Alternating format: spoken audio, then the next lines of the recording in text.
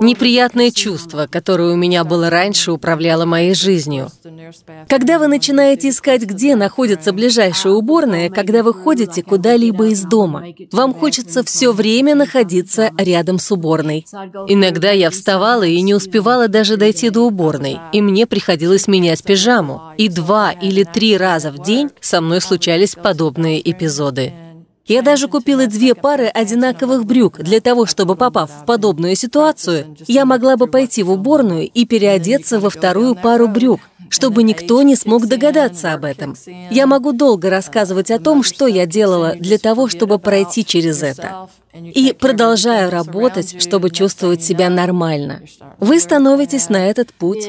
Возраст начинает давать о себе знать, начинаются проблемы на работе. Материнство дает о себе знать. Вы просто полностью забываете о себе и начинаете больше думать об этой ситуации вокруг вас.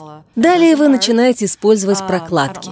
И когда вы их постоянно носите, у вас могут возникать проблемы с гигиеной. Так вот это и стало управлять моей жизнью. Но сегодня я очень довольна результатами, которые я получила от процедур на кресле МСЛа. Это совсем не больно. Я не знаю даже, как это описать. На самом деле это не вызывает никаких неприятных ощущений. Вы просто проходите процедуру. Это просто замечательно. Не знаю, как это работает, но это работает. Я чувствую себя гораздо лучше. Когда я нахожусь где-то, я могу спокойно дойти до уборной.